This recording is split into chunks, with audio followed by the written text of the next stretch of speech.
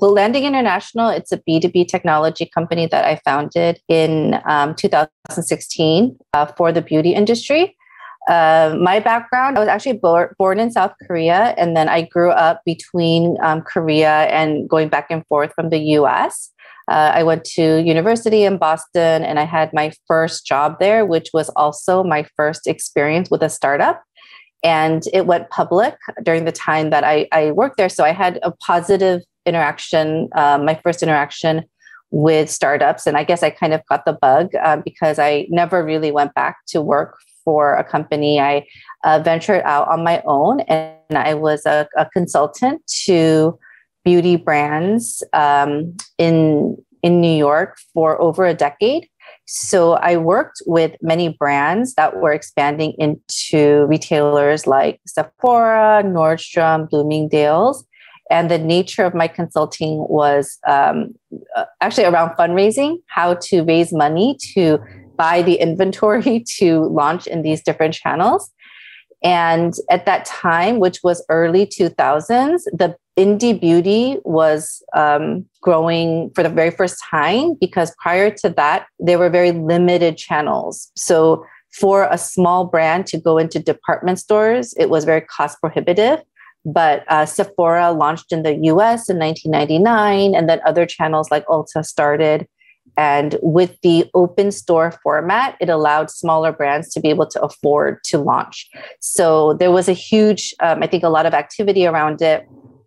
And I did that for, um, you know, about 12 years um, in New York. And then I uh, eventually, you know, ha- had the um, you know idea for landing. Uh, how did you come up with the business idea in the beginning and what was aha moment for you with the founding of landing international? Yes. So um, so as i mentioned actually right before i started landing i uh, started a cross border consultancy helping US brands um, that I was working with um, in those past like 12 years to launch in Asia. And as I was doing that, I realized that this area uh, of international cross border work is very manual and it's re- very relationship based.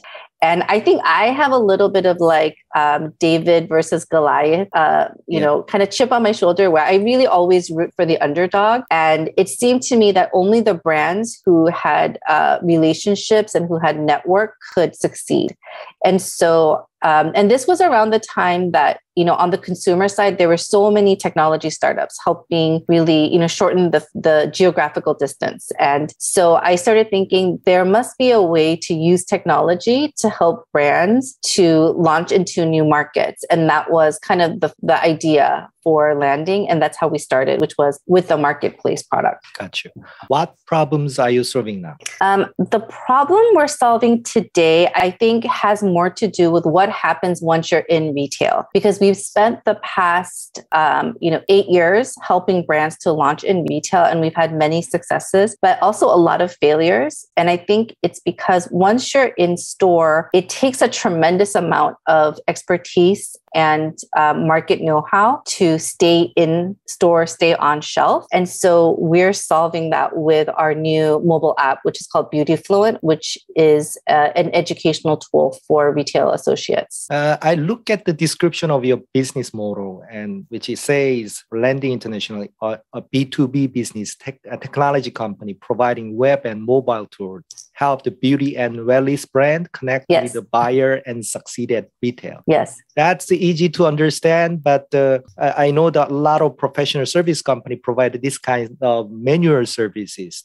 mm-hmm. customized solution to the customer. But you are you are running a startup to scale the business, so mm-hmm. I cannot imagine how it works, right? So can you tell us uh, what is it? I mean, what is the business model? Yes. So our business model actually is quite simple. We're a software as a service company. So we have two levels of subscriptions. The first is premium, which is uh, basically all of our web based tools. And that helps brands to meet with retailers, but also to share their product information with the retail associates. And then we have a level above that, which is our uh, web based subscription. Uh, sorry, our mobile uh, offering subscription. Gotcha.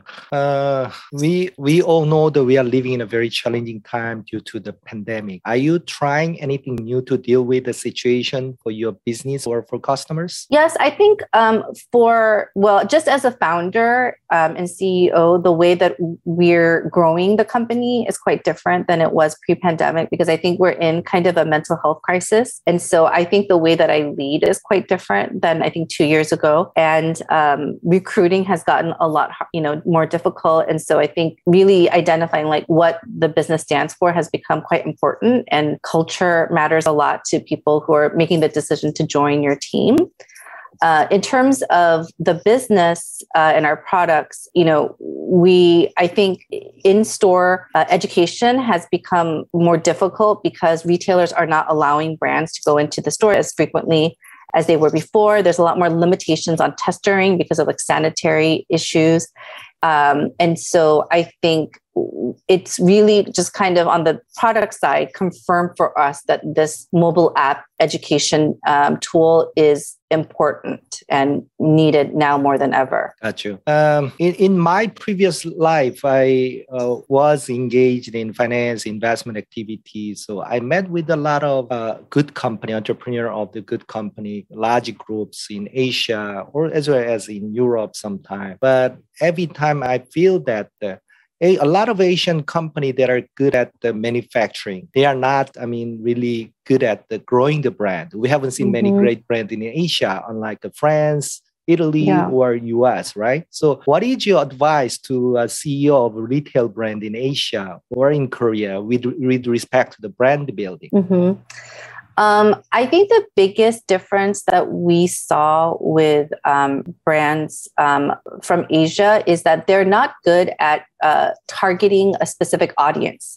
Because if you think about, let's say, Korea, the audience is very similar. They have very similar sort of, uh, you know, desires and lifestyles. You know, there's an age range, but you know, mostly people want to have white skin and they want to, you know, look dewy. But in the US, there's such a wide range of lifestyles and customer groups that when you try to appeal to everybody, you ultimately appeal to no one, um, particularly when it comes to beauty, because beauty is a decision you make based on emotion and and and sort of like um, how you want to be seen in a way.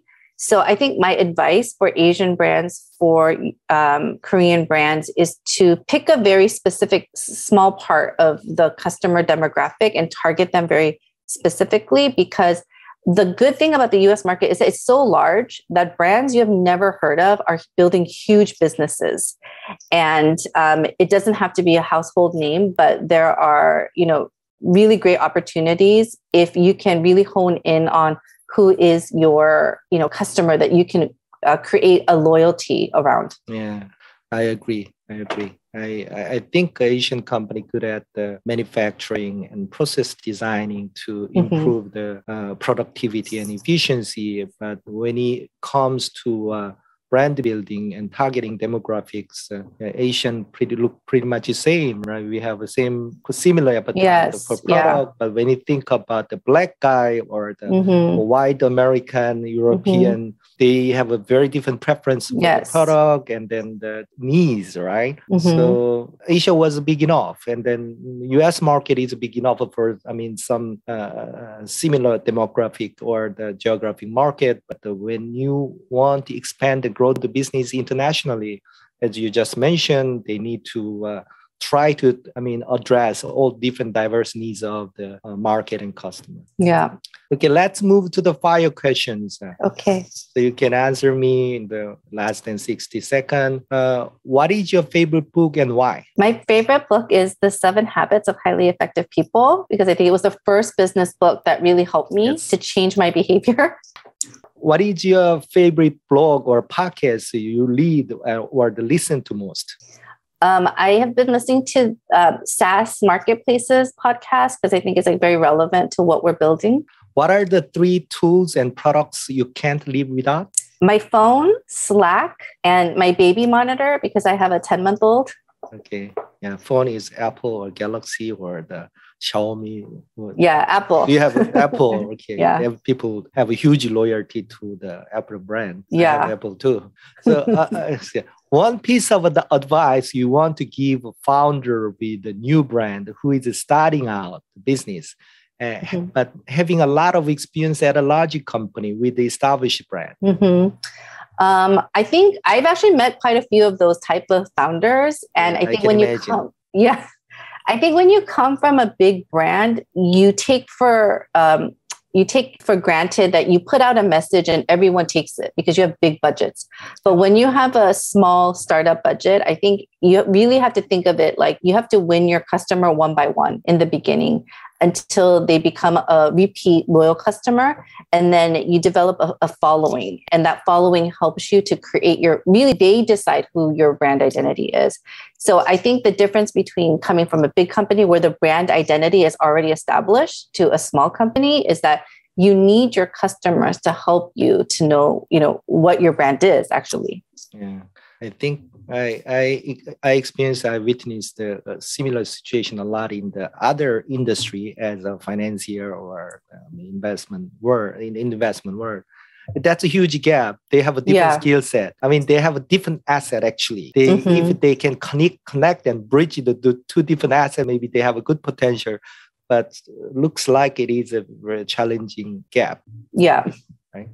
Okay, let's finish it today with the big picture. What is the next five years for you and vision for the Landing International? Um, I think five-year vision for Landing is that our, you know, mobile app, which is also a community um, for uh, the retail professional, that it is, you know, the most thriving and engaged beauty community and beauty associates, hairstylists, makeup artists um, all know that it is the go-to app uh, whenever they're seeking um, development in their career or to engage with other people like-minded.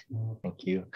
I enjoyed the conversation and great to know about uh, ambitious uh, ventures. And thank you so much for taking time to share the, your great vision on my podcast. Thank you so much. Thank you so much. Thank you.